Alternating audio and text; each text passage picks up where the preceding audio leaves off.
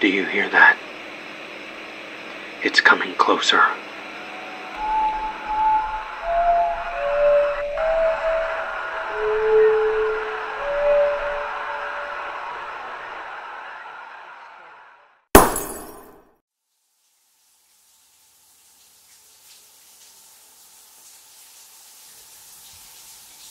I've been in the shower for hours now,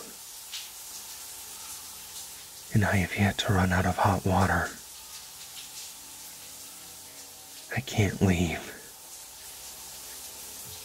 Something sits on the toilet seat only a few feet away from me. He's watching me. I peeked through the curtain earlier just to get a glimpse of him. I wish I hadn't. I saw he had gray skin, only a few patches of long, thin hair on his head. He had nails that could have been at least a foot long. There was blood on those nails, with pieces of my wife's flesh still hanging off the tips. Every once in a while, he'll make a creaky chuckle, a clearing of the throat to show he's still there.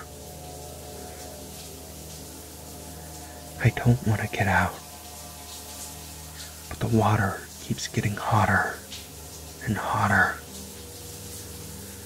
I'm starting to blister. I stand here with the boiling water hitting my back.